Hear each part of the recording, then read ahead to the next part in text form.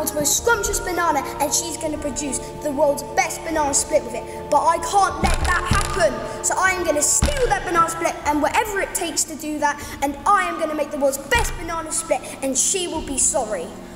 Boss, I don't think your operation will work. If you have the best banana, it doesn't mean you'll make the best banana split. You're not even a real chef. Well, I disagree, and I think my plan is excellent. What do you think, Baboon Ben? Ooga, ooga. Ah, go, go, go! Ah, go! Ah, it is an excellent plan, isn't it? Wah, ha, ha, ha!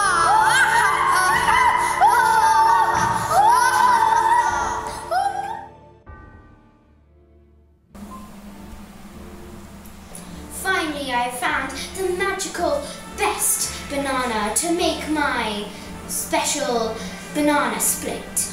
I'm talking cream, I'm talking sprinkles, I'm talking chocolate sauce, I'm talking bananas. Don't you want some marshmallows and ice cream on the side? True, that would be quite nice. It would give some pizzazz. But the most important thing is the banana. Guard this with your life.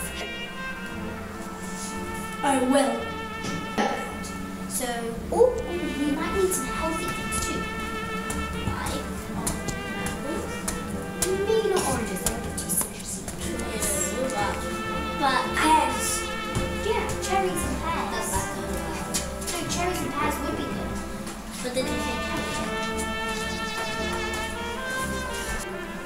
Just see that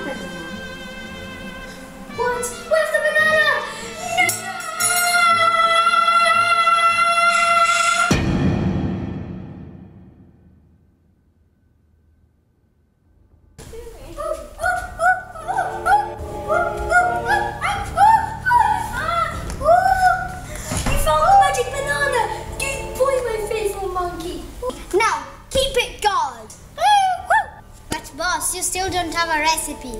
I've had enough of your negativity. Baboon Ben, kill her!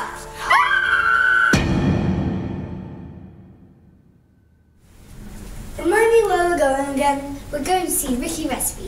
If anyone knows where who stole the banana, then it's him.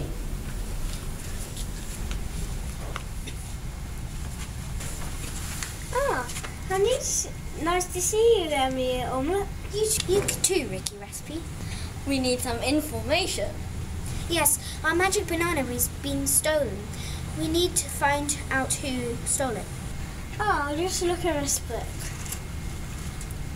Ah, I know. It was Bob Fungi. Um, I know where to find him. Come this way.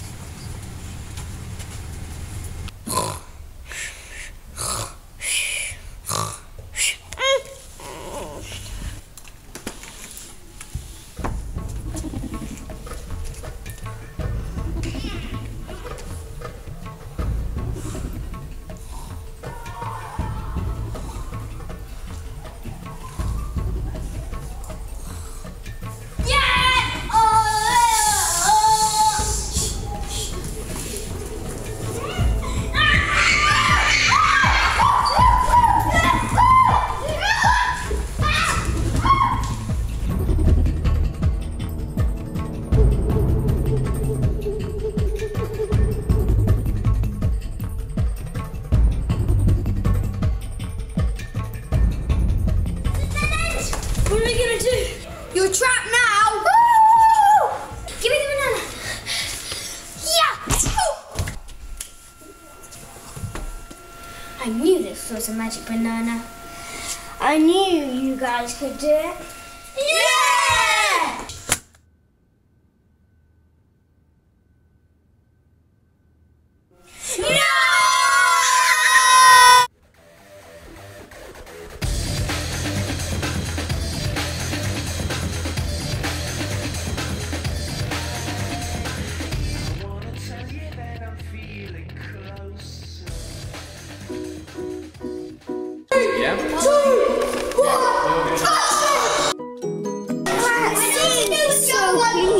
clean.